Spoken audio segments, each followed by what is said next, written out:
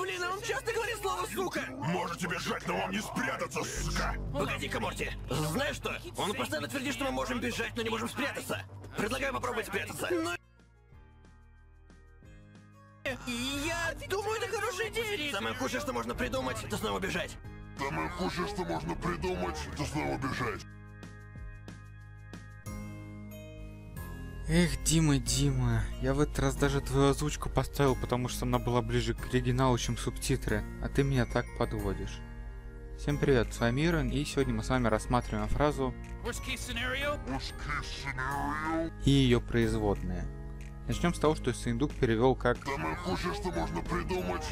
На самом деле фраза worst case scenario переводится как в худшем случае и никак по-другому. Так слово worst является превосходной степенью прилагательного bad, то оно значит худший. Слово case в данном случае переводится как случай. Соответственно, дословно эту идиому можно перевести как сценарий с худшим случаем или с наихудшим случаем. Звучит довольно громоздко, поэтому часто оно просто сокращается до in the worst case.